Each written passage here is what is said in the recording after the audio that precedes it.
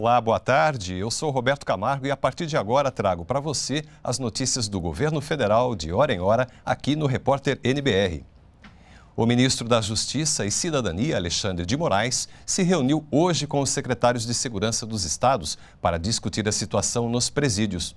Um dos pontos da pauta é a criação de 27 núcleos de inteligência policial nas capitais do país, ação prevista no Plano Nacional de Segurança.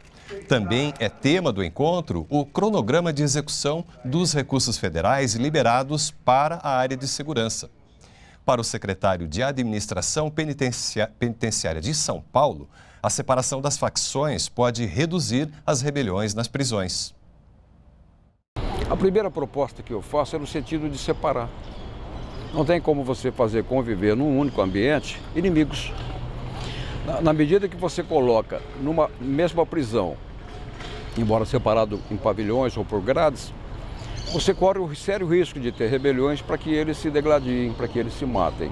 Então a proposta que faremos é nesse, nesse sentido de haver separação das pessoas é, integrantes do, da facção A e da, da facção B.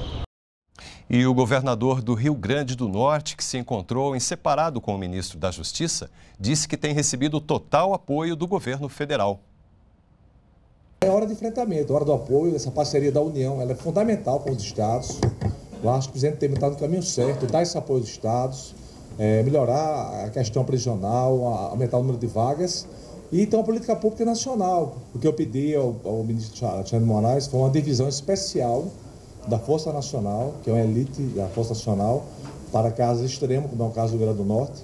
Pediu o avião para buscar esses, esses, esses presos e pediu uma colaboração técnica. Desde sexta-feira, quando começou essa rebelião, que eu fiquei no diálogo permanente com o ministro Alexandre Moraes, ele foi bastante solidário. Depois falei com o presidente Temer no domingo de manhã. Ele disse que estava à disposição, me convidou para vir a Brasília para participar da reunião amanhã e disse que o governo federal está, vai colaborar com o Rio Grande do Norte eu sou testemunha da boa vontade aqui do governo federal do meu estado. E segurança pública foi também o tema de uma reunião do presidente Michel Temer com a equipe de governo. Nós vamos ao vivo ao Palácio do Planalto. O repórter Paulo La Sálvia traz mais informações para a gente. Olá, Paulo. Boa tarde.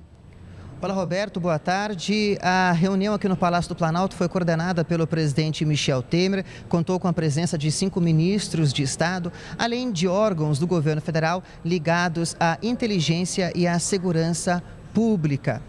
O porta-voz da Presidência da República, Alexandre Parola, anunciou quatro ações que foram determinadas pelo presidente Michel Temer durante esta reunião. Uma delas é aprimorar a interlocução entre esses diferentes órgãos e estruturas de inteligência e segurança pública no contexto do governo federal, bem como com os governos estaduais, como ocorreu durante as Olimpíadas do Rio de Janeiro no ano passado. Mas a principal iniciativa é o emprego das Forças Armadas para inspeções nas penitenciárias estaduais no país. Sobre o assunto, vamos ouvir agora um trecho do pronunciamento do porta-voz Alexandre Parola. Haverá intensa troca de informações no combate integrado à ação de grupos criminosos que atuem no país.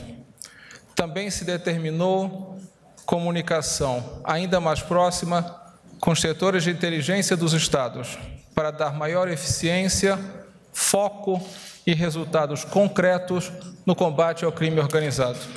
Em uma iniciativa inovadora e pioneira, o presidente da República coloca à disposição dos governos estaduais o apoio das Forças Armadas. A reconhecida capacidade operacional de nossos militares é oferecida aos governadores para ações de cooperação específicas em penitenciárias. Haverá inspeções rotineiras dos presídios com vistas à detecção e apreensão de materiais proibidos naquelas instalações. Essa operação visa restaurar a normalidade e os padrões básicos de segurança dos estabelecimentos carcerários brasileiros. Mas para essa cooperação, esse emprego das Forças Armadas ocorrerem nas penitenciárias estaduais, os governadores terão de formalizar um pedido, concordar com a presença das Forças Armadas e entender que são elas a cargo do Ministério da Defesa que vão realizar esse trabalho de inspeção nas penitenciárias brasileiras. Além dessas duas iniciativas e de essa que é inédita, o porta-voz da Presidência da República, Alexandre Parola, também anunciou a criação de uma comissão que vai estudar a reforma do sistema prisional, do sistema penitenciário brasileiro, com representantes dos poderes executivo, legislativo e judiciário e também de um comitê de integração e cooperação que será formado pelos ministérios da Justiça, Gabinete de Segurança Institucional e Defesa. Eu volto com você no estúdio, Roberto. Muito obrigado, Paulo, pelas informações. E em entrevista à agência de notícias Reuters, o presidente Temer afirmou que a prioridade do governo é fazer o país retomar a geração de emprego. Temer também citou os números recentes da economia. Há tempos atrás, pouco antes do meu governo, a inflação no Brasil era prevista para 2016 em 10,7, 10,70. Né? E nós ah, alcançamos o final do ano dentro da meta, ou seja, com 6,29. O teto da meta era 6,5, 6,50. Por outro lado, os juros estão caindo no Brasil. Primeiro 0,50, agora 0,75, exata e precisamente em função da queda eh, da inflação. Nós pensamos que a partir do segundo semestre, ou meados do segundo semestre, o desemprego já comece a diminuir e o crescimento venha de uma vez. Se ao cabo de dois anos o Brasil estiver nos trilhos, nos trilhos significa nos trilhos econômicos, nos trilhos éticos, nos trilhos morais, o próximo governo que vier vai encontrar um país arrumado para fazê-lo crescer cada vez mais. E foi liberado hoje pelo Ministério do Trabalho o lote de pagamento do seguro-desemprego já com reajuste. A maior parcela paga ao trabalhador subiu de R$ 1.542 para R$ 1.643, ou seja, um aumento de 101 reais. Já a menor parcela não pode ser inferior ao mínimo de 937 reais. A correção dos valores pagos é válida para todos os trabalhadores demitidos sem justa causa pescadores artesanais em período do defeso, trabalhadores resgatados em condições semelhantes à escravidão e também profissionais com contratos de trabalho suspenso.